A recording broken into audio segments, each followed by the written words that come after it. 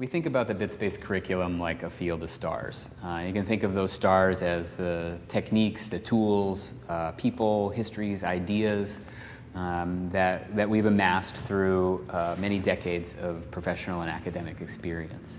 And our guides are specially equipped to be able to uh, help our students to chart paths through uh, this field of stars, to form their own constellations, uh, to scratch their own itches um, and to do it um, not in a completely free and open way, but in a, uh, a semi-structured, a, a, supported way.